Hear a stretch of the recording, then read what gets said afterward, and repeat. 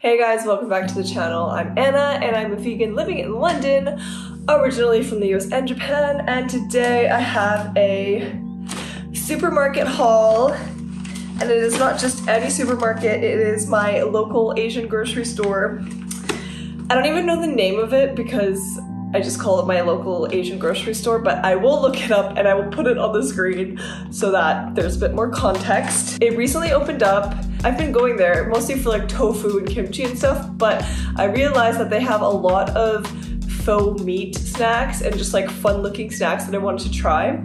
So I got them. And some of them are not um, Chinese, like this one is well, I don't know. It's from a brand called Oishi, which is a Japanese word that means delicious, but this looks, actually, never mind. Yeah, this is definitely Chinese. There's like um, only Chinese characters on this, so it is not a Japanese product, but the brand name is confusing. Um, but yeah, most of these are Chinese or Taiwanese, perhaps. I'm not really sure. I, I don't really know like the difference between simplified Chinese and traditional Chinese. So um, yeah, apologies if I am not factually correct. Like I said, a lot of them are like soy meat, faux meat kind of products. So let's start with, let's just start with what's in the middle, okay?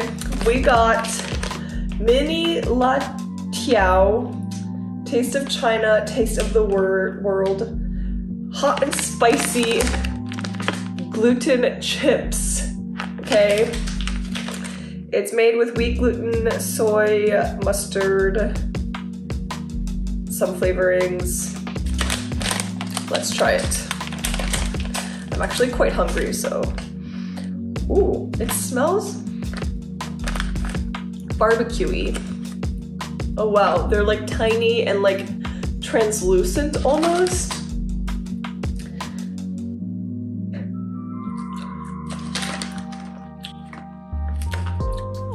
Whoa, it tastes kind of bacony. It's not bad. It's pretty spicy. It's a little oily, like greasy. The texture is like not what you'd expect. I don't know, I thought it would be like more hearty, like more chewy, but it's quite light actually. I like it. I'll give it like a 7 out of 10 just because like I don't know. It's good but it's not like amazing out of this world so I'll give it a 7 okay next let's go. Let's do this one. This is a seasoned soy meat snack from a brand called Zen Xian. Zen Xiang I can read this in Japanese. It's um oh god die Daizu which means soy product. Um, and yeah, I think this means like soy meat, soy vegetable meat kind of thing. Oh, oh, it has like kind of a weird smell. Okay, so it looks quite different from the first one. It's more, it's a larger cut.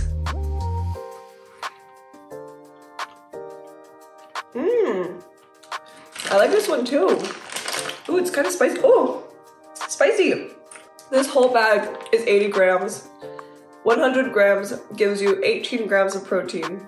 So this, this whole thing gives you like, what, like 16 grams of protein? 15, 16 grams?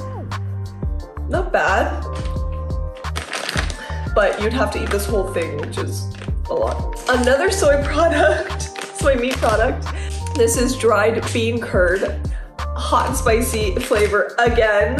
I didn't realize I got only spicy flavored, but I guess that's just like what I tend to reach for because I love spicy food. Um, this one looks a bit more like wet. I know that doesn't sound right, but like it just seems more like saucy, I suppose. This is from Taiwan. It says Taiwan on the back here. Oh, wow. I just pulled out a huge piece. I don't know if this is one piece. Oh wow, it's pretty big. Okay, look at that. One piece. And it's dropping. Okay, let's try. Mmm. This might be my favorite so far. Mmm. Very flavorful, chewy, good texture, not too greasy. I'll give this a 10. Sorry, I forgot to rate. This one I'll give a six. I don't know, six, six and a half. This I'll give a 10 because this is my favorite so far. This is my last soy product. This is a soybean roll, also spicy flavored. Yeah, it essentially looks like it's just like rolls of soy. Oh, they're individually packaged this time. Whoa, look at that. They're like little mini beef jerkies, I suppose. Oh god, I don't want it to like splatter everywhere. Ooh, this is fun. Okay.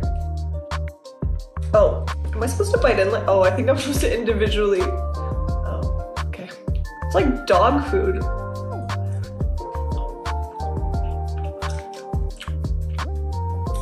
Well, it tastes like beef jerky.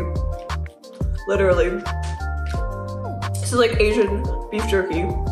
I like it. It does taste quite processed, like it does not taste natural at all. I mean, none of these products really taste natural, but I think this one tastes the least natural. But the texture is good, flavor is good. I do like it. I'll give it a seven and a half.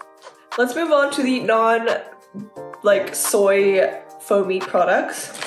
So this is broad bean snack, I believe. Broad bean? Yeah, broad. This is also hot and spicy. Oh my god.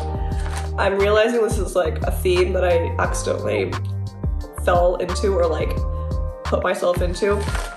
Um, but yeah, it's spicy broad beans. I usually like these kinds of like roasted um, bean type of snacks. So I think I'll like this one. Smells sweet. It's bizarre. Okay.